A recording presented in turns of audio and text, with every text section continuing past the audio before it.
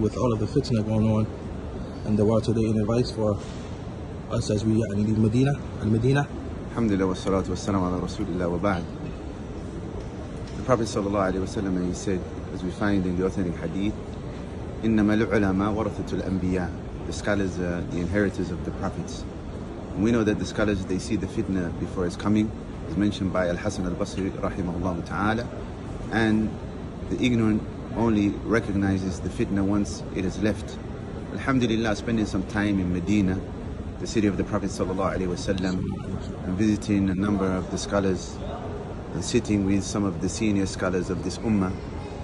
It's important for our brothers and sisters to recognize that when it pertains to affairs that affect the ummah, it's not for influencers or young people or even just young graduates to talk about these affairs like they are Ahl al-Fatwa and they are those to be returned to in al-Nawazil.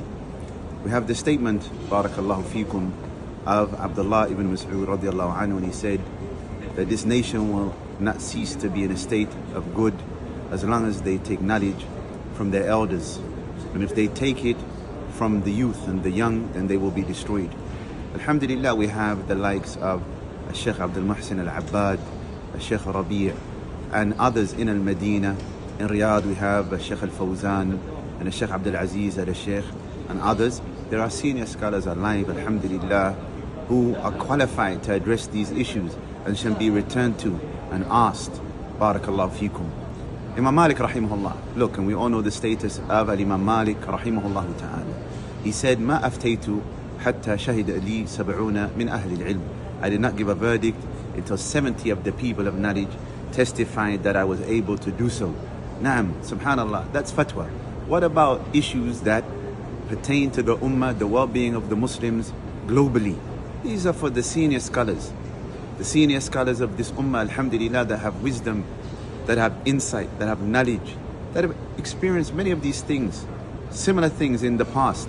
Naam, alhamdulillah, I'm best qualified to handle them now in the present.